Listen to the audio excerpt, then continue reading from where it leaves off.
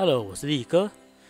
这次的活动是最强的喷火龙哦，在之前的活动就已经出过，所以已经在去年很多人都有发过攻略。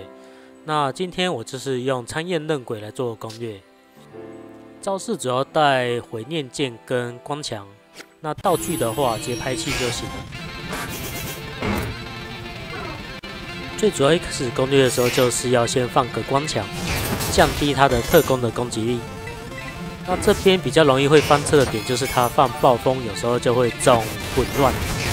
中混乱的话，会打到自己，那翻车的几率就会比较高一些。那放完光墙之后，就是要放毁念剑。其实毁念剑放到底也行，就直接太轻化，然后再直接放到底。所以那个剑舞可带可不带。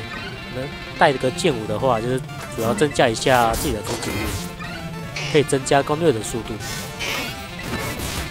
那中途他会再放一次那个消除敌 buff 的时候，那我们再放一次光墙。放完光墙之后，再继续的毁灭剑，直接打到底就行了。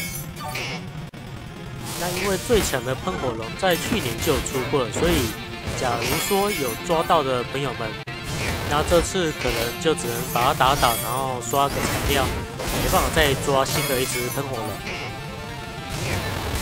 所以还没有攻略的玩家呢，就是在这一次活动呢，就赶快把它打起来。然后，假设有打过的玩家们，就是把它打倒之后再刷个材料这样子。好的，那影片就到这边结束。我是力哥，祝各位游戏愉快，再见。